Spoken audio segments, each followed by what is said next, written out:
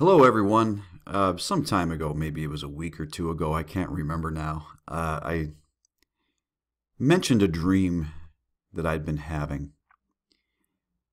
And I'm going to go a little more deeply into this today and maybe even get your help on it. Um, certainly, there's many things in the world to cover today. We've got uh, Syria and Israel having a scrap overnight where Israel has taken down some um, some anti-aircraft uh, equipment of Syria. Syria claims that they have shot down an Israeli jet. Israel claims that none of their jets have been shot down. We've got Donald Trump uh, and the Trump administration, Rex Tillerson, saying that uh, all options are on the table with North Korea. Certainly seems like the war drums are beating in a number of places around the world, and you have to believe that something is about to pop off. But maybe these dreams, these dreams that I've had, um, and I'll explain to you here, might somehow tie into all of this. I don't know, and I've I've prayed about it, and well, I'll tell you what I, I think I'm hearing after I explain all this. I've had this dream a number of times where I am in standing in a village. It's it's not the it's not a spectacular place. It's just it appears to be a a suburban village, a rural village, if you could say. Excuse me. Coffee. Um, you know, it's there is. A, I'm standing on a sidewalk. It's summertime, and uh, there is a street. It's actually more of a road adjacent to this sidewalk I'm standing on. To my left, there's green trees, and in my periphery, I can see the edge of a of a reddish brown brick building. And now, further ahead on this uh, road, I guess we'll call it a road. There is a bridge and then further up, there is somewhat of a hill, and I think I see another street up there with trees, and maybe there's uh, some houses up there. But this bridge that's before me, that's maybe a quarter of a block ahead of me, there is some sort of creek or river underneath it. I can't see it, but I know it's under there, and I know that I want to fish in that creek, but I never get there.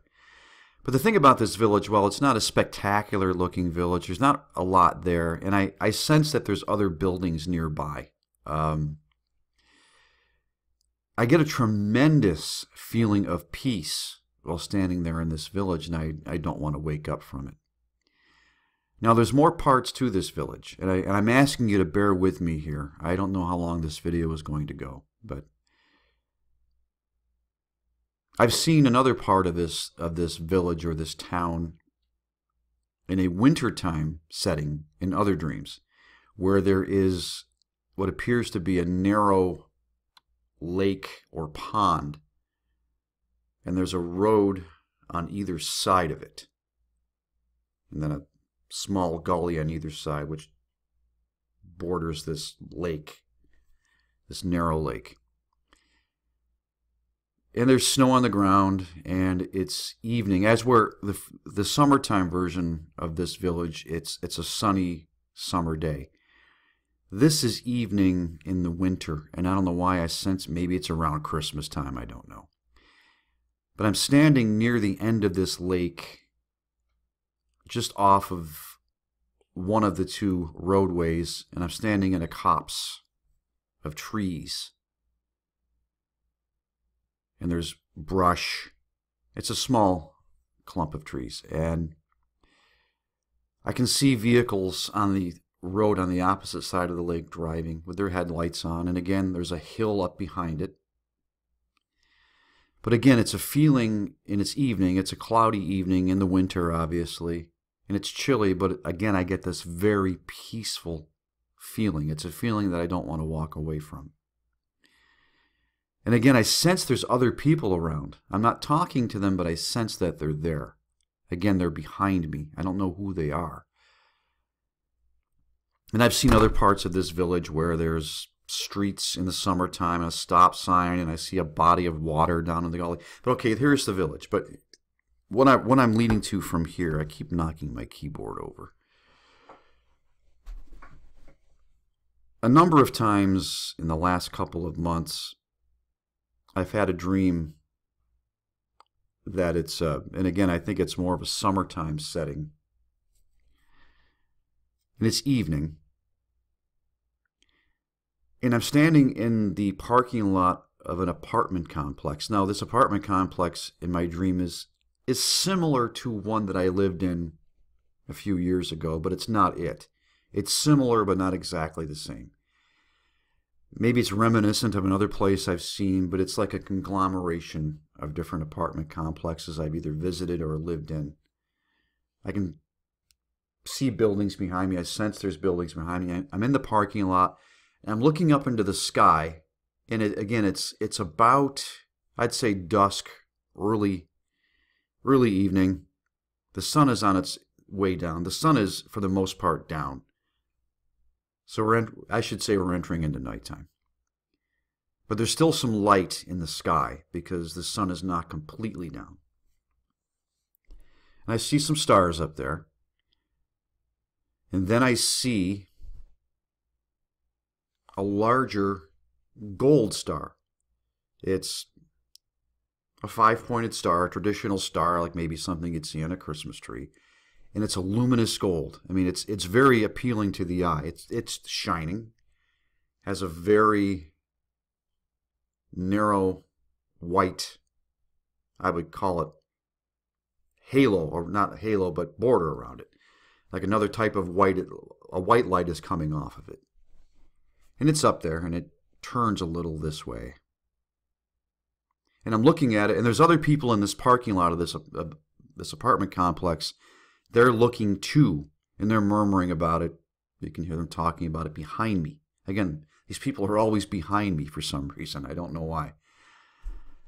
As I'm watching this gold, this big gold star, and it turns, and again, I'm I'm getting a nice feeling from this. It's it's definitely not something that's frightening. It's something that's peaceful, maybe exciting, I don't know. The star turns into a bell of the same color. And the bell again is a traditional looking old fashioned type of bell, maybe something you'd see on a Christmas tree. It's the same color, it's gold, very luminous gold with the uh, the white shadow around it. And it starts to spin and it comes down from the sky, spinning, and crashes into the parking lot that I'm I'm standing in. And it's a large bell. I mean, it, it could be the size of, of a of a car. Crashes in the parking lot. I see some pieces of asphalt fly up from the impact point, and it goes spinning across the parking lot.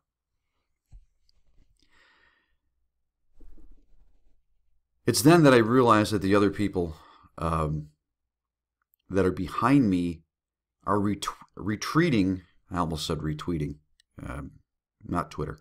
They're retreating to one of the buildings in the back part of the complex. They're moving quickly. They're not running.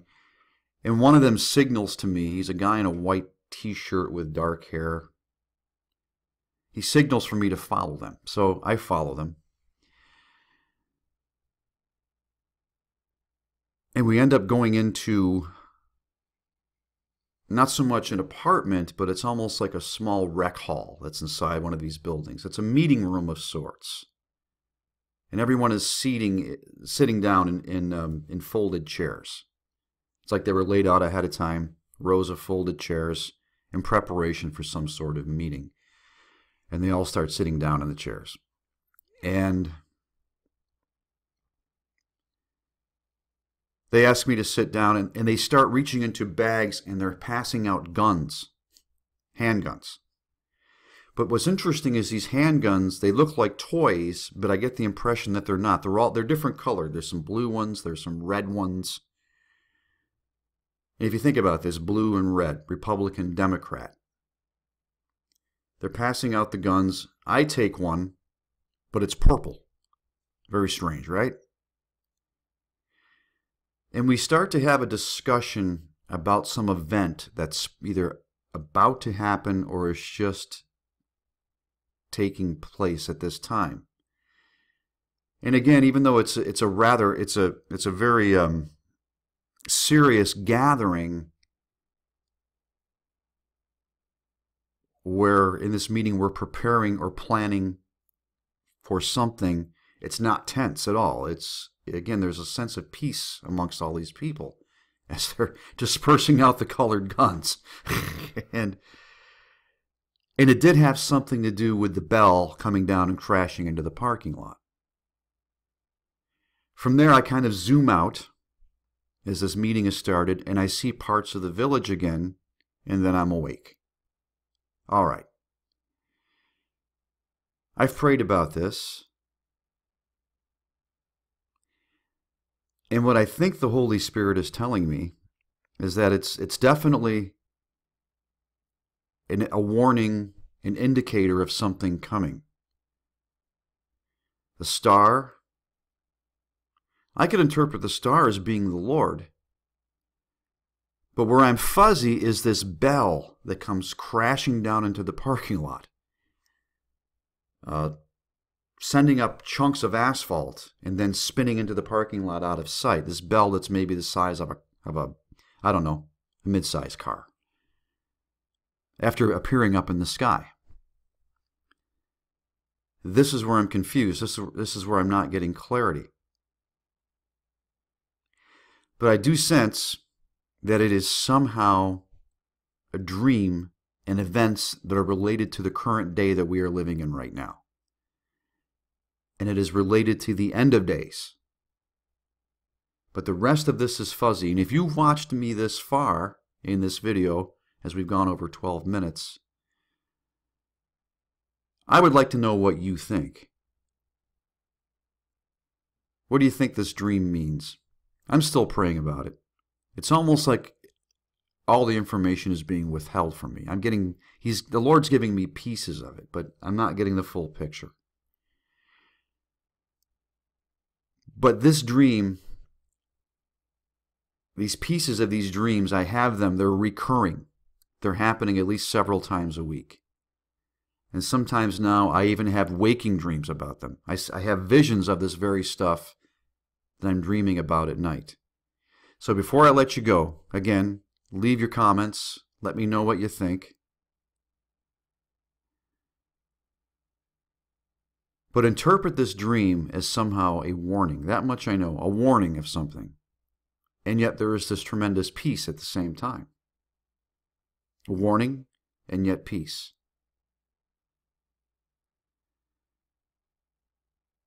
The bell. I think the bell crashing into the parking lot is the most intriguing part of this dream. Anyway, I'm Jim. Let me know what you think about this, as I'm still trying to figure it out. God bless you, folks, and I'll see you soon.